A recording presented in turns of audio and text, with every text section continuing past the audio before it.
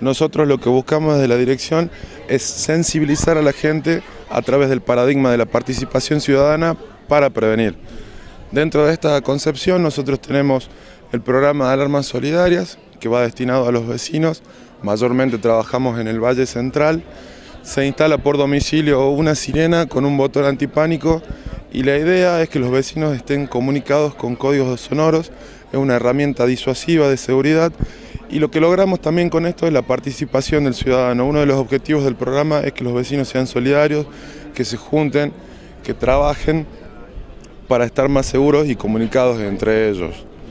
Los vecinos que quieran el sistema de alarmas solidarias se pueden acercar por el CAPE, casa número 8, en horarios de la mañana, de 8 a 13, y ahí se entrevistan con nosotros, nosotros les explicamos y de ahí hacemos una reunión en el barrio ya para explicarle a todos los vecinos.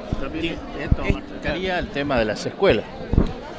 De ahí tenemos otro programa de alarmas solidarias para las instituciones, que es para las iglesias y para las escuelas.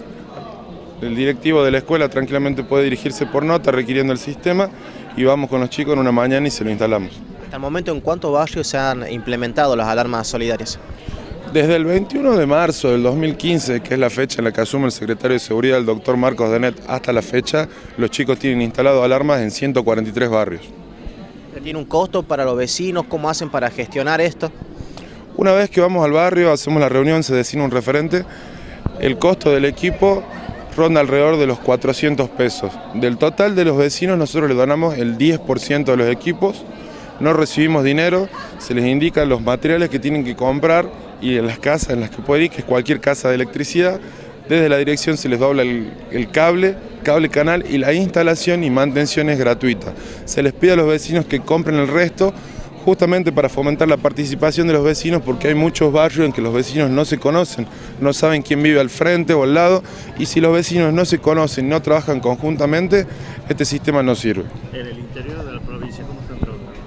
En el interior de la provincia estamos saliendo a dictar charlas y capacitaciones. Nosotros tenemos un nutrido grupo de profesionales que contamos con trabajadoras sociales, psicólogas, psicopedagogas y ellas salen a dar talleres vivenciales y capacitaciones. ¿Qué les quiero decir con talleres vivenciales? Es, la gente va y no recibe una simple charla, es un taller en el cual se los hace participar para que vivencien e internalicen cuál es la problemática y así la pueden implementar después.